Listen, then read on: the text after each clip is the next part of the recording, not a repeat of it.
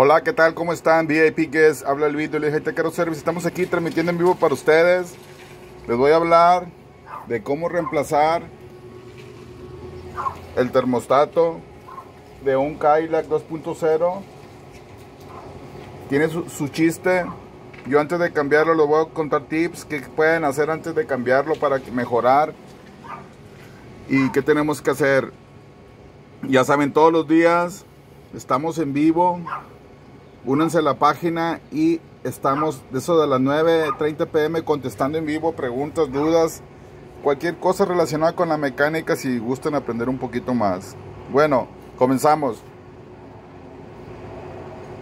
Lo primero que tenemos ah, que, que preguntarnos por qué es que se cambia un termostato, qué son las razones por las cuales se cambia.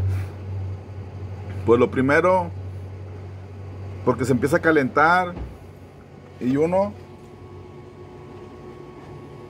pues tenemos la duda y para eliminar o descartar lo cambiamos.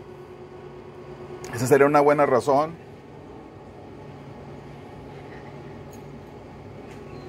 Por la cual se cambiaría un termostato. Ahora, ¿cómo podemos mejorar?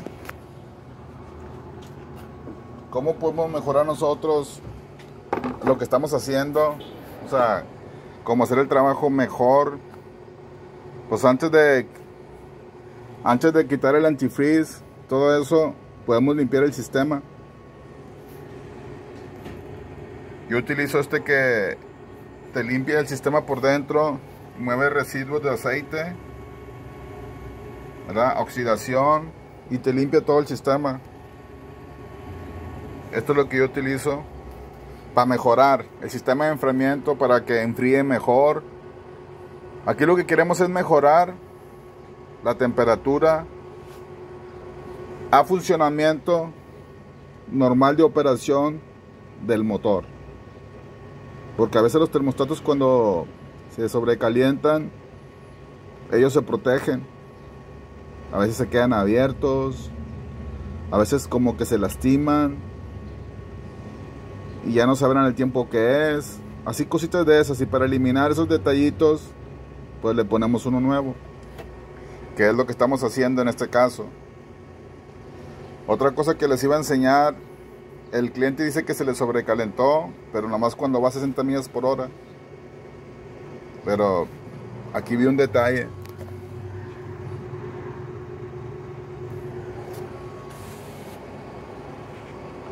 Aquí estoy viendo un detalle yo. Esto que está aquí.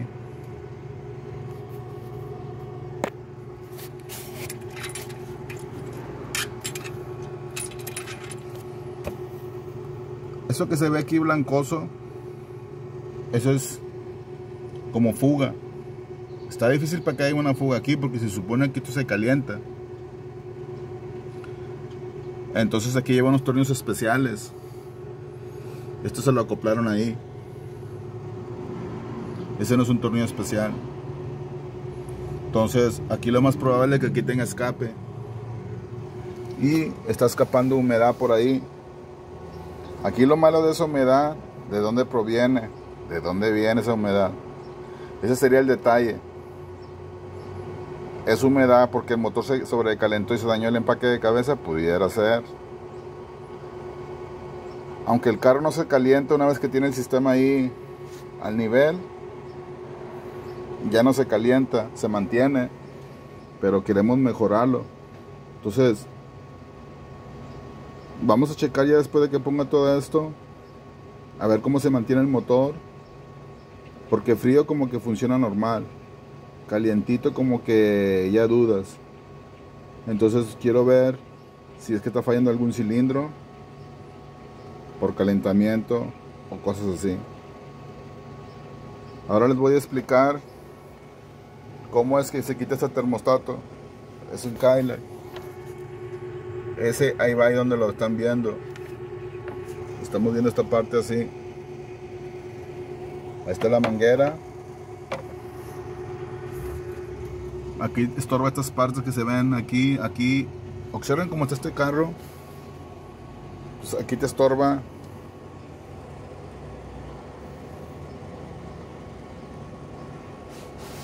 Esa pieza. Y luego aquí lleva un protector. Entonces, yo lo que estoy haciendo es lo siguiente. Todavía me falta apretar bien. A ver si se alcanza a ver ahí así.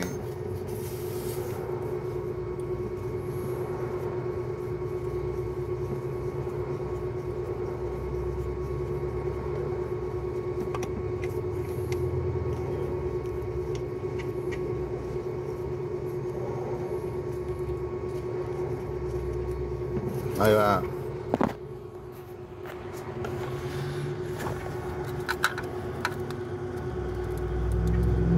Muchas veces en la mecánica, yo no sé por qué a veces hay gente que utiliza herramientas de impacto para apretar, para quitar.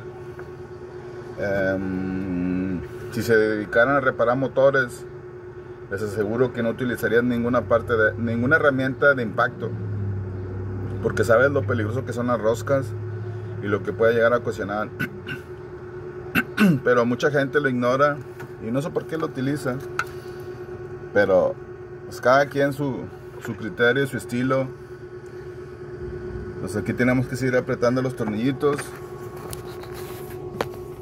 Para quitarla, pues ya saben. Aquí está mi mano. Si cupo mi mano aquí, igual cabe una herramienta. Ahorita lo que voy a hacer pues yo la quiero apretar así de esta forma.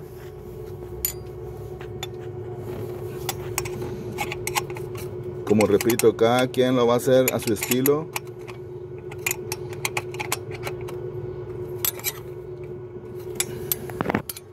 Cada quien lo va a hacer a su estilo.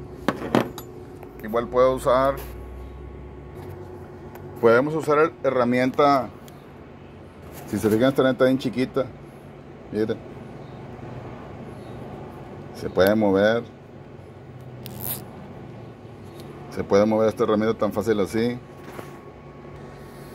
Bueno y así es como terminaríamos y pusiéramos lo que es. Ahora vamos a aprenderlo checarlo echarle su nivel 50% agua destilada 50% 100% antifreeze. Si esa parte que les estoy mencionando de 100% antifreeze no la entendieron pregunten. Tengo más videos. Y para eso tenemos la otra plataforma donde contestamos en vivo 9.30 pm VIP Guest no me queda más que agradecerles su tiempo y su atención y suscríbanse si es que les gustó este video. Activen la campana para recibir notificaciones. Nos vemos. Bye.